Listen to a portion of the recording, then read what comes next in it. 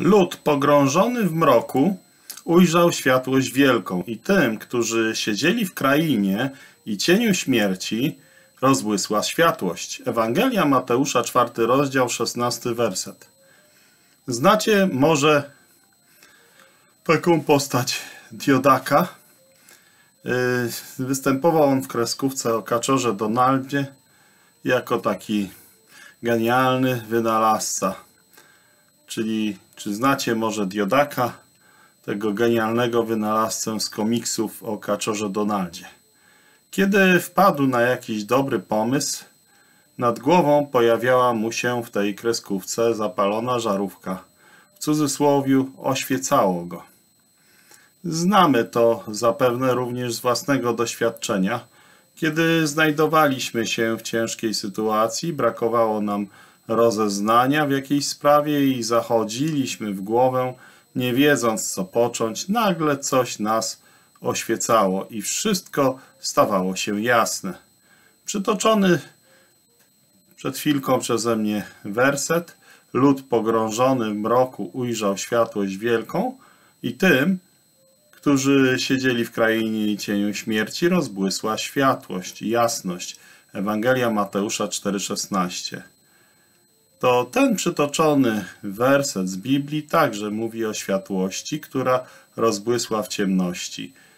Zacytowany jest w nim fragment księgi proroka Izajasza, wymieniający ciemne czasy ludzi pogrążonych w mroku oraz krainę, nad którą rozciągał się cień śmierci. Wszędzie panowała trwoga i pomroka. Tak opisuje to księga Izajasza, 8 rozdział, 22 werset.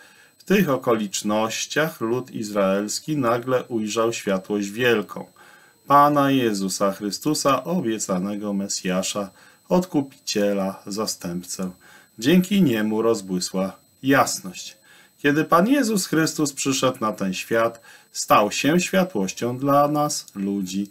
On sam jest światłością świata, o czym mówi Ewangelia Jana, 8 rozdział, 12 werset.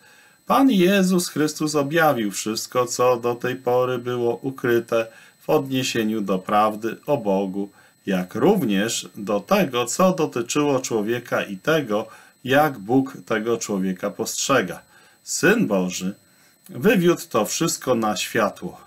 Nie musimy dalej błądzić w ciemności. Zostaliśmy także wiarygodnie poinformowani odnośnie do naszej przyszłości i dziejów ziemi. Istnieje jednak ktoś, kto chce zaślepić nasze umysły, nasze oczy duchowe.